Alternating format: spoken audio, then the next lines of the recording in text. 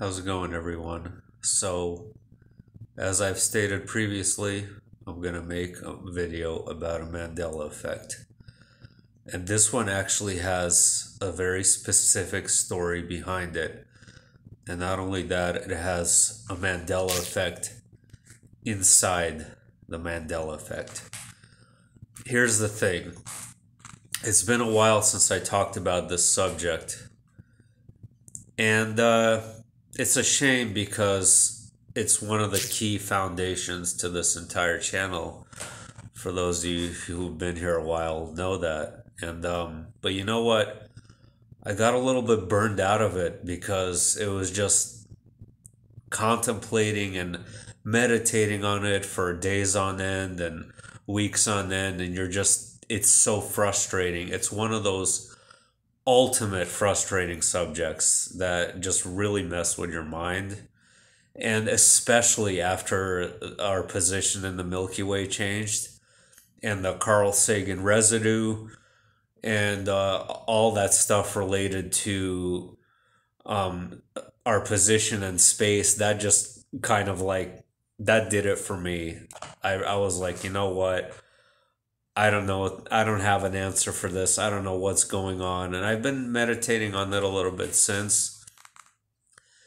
And I've been kind of frustrated, actually, even more, because I realized that so many of these changes, like on a quantum level or whatever it is that's actually happening, if we were inserted into a computer, I don't know what it is as nobody really does. Um, we don't really know what they mean or if they're changing things for the better or for the worse or if they're not changing anything at all. I mean, I don't know, but you would think that you would hope that something like this would start changing like really important things for the better.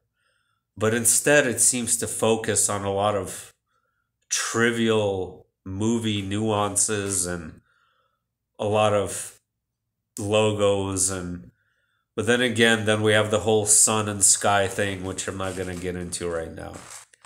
I'm going to be on emily moyer's show and we could probably talk about that next week. It's frustrating though um, that if you know the reality is so fluid then let's change things for the better, right? Instead of just some mo- phantom movies or logos or things like that. Anyway, um, so I'm reading my book as I'm reading as I'm uh, waiting for the Aramaic translations. I actually ordered two of those. And I was hoping they would get here because I would be making videos on them already. There are other translations of the New Testament into Make by the same author and things like that. But it's on back order and they're out of stock, so I'm gonna have to wait. But I'm reading this other book, right, uh, about the occult and Freemasonry and all that, and um, it mentions this event um, that's that was related to a specific person in Italy. That was I don't remember the exact story but he was some kind of extremist terrorist who was also um, the member of a lodge in Italy, and um, he he basically conducted this attack in Bologna, Italy, I believe in nineteen eighty, a, a, train station bombing basically, and um, it ended up killing eighty five people, I believe, and this was a massive incident and so I'm reading as uh, towards the end of the book already, and I'm like, well, that's interesting. I never heard of that. I, I thought I pretty much knew every mass casualty incident, probably going back 50 years um, from, you know, the, the Lebanese incidents in Beirut um, dozens of years ago from the airline hijackings from the 70s, the KLM, and all of these incidents, um, these major historical events. Um, of course, there are plenty of. This happens more often than we think. This is true, right? You're probably thinking, well, what's a big deal? Like, you don't you didn't hear about a historical event from 1980 so what well an event like that i would have heard about and uh, i would have heard about um, i heard i know about smaller events like things that happened in ireland with the ira in 1980s in the you know stuff like that so i would have known about it heard about it one time in my life uh, Bologna, Italy, 1980, 85 people dead. Um, so I just figured, I didn't even think Mandela effect at that point. I just figured, okay, whatever. There's plenty of stuff I don't know. Big deal. I just sort of moved along. A new event, right? And uh, there are other mass casualty incidents that have been inserted into our reality. As you guys know, the Black Tom explosion in New York during World War One. Uh, research that. Now let me know if you ever heard of it. Guarantee you didn't.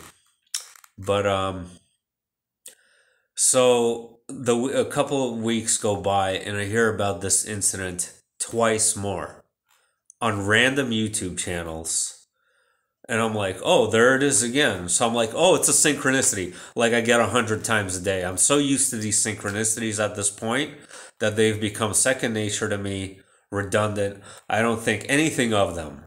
I'm like, oh, there's that incident again in Bologna, Italy in 1980. I'm like, wow, that's interesting that I would hear about it again twice, whatever. So I end up watching a channel specifically on Mandela effects, having no idea that this was considered to be one. Um, and I haven't watched anything on a Mandela effect in a while, so I'm like, okay, let's let's take a look, man. Let's refresh my memory. Let's get back into this most confusing of subjects.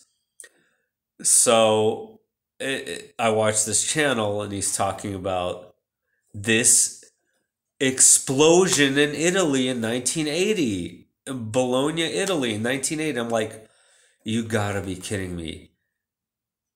So this was absolutely shocking to me. So it wasn't just necessarily me misremembering. This is actually a legitimate Mandela effect that a lot of other people consider it to be a Mandela effect. But even more than that, there's a Mandela effect inside this incident like an inception sort of idea um, where basically what happened was that during this attack you had the clock at the train station stop at 1045 or something like that i don't remember and it froze so the clock broke and froze at 1045 which was the time which was the time that the incident happened so the mandela effect with the clock is that a lot of locals remember that the clock was never fixed and it was kind of left as a memorial at 10:45 a.m. or whatever.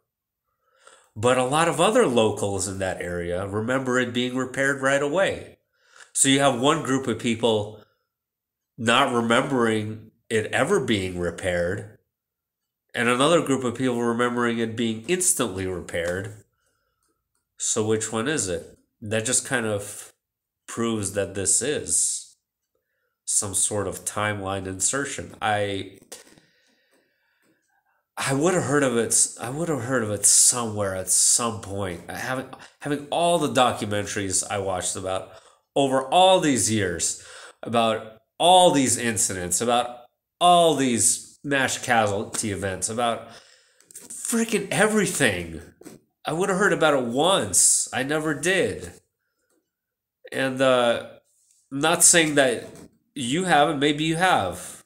Maybe it's always been in your version of Earth. That's okay. That doesn't prove it to me, though. Sorry. Anyway, I just thought it was interesting how the sort of sequence of events plays out, where I'm reading it in this book, and then I see it on these random channels and then it turns out that it is a Mandela effect. And this stuff, it's just, it's mind boggling. What else can I say about it? Um, one thing I will say is that I never did a live stream on the Mandela effect. Uh, we talked about a bunch of other stuff so far. So if anyone wants to, um, I know a few people that definitely would, but please say something below. Because if nobody does, I'm not, I don't want to talk about it on my own. That's the thing. I want it to be like a group conversation if we do. So if any, even one person wants to, I will, uh, I'll go live talking about this.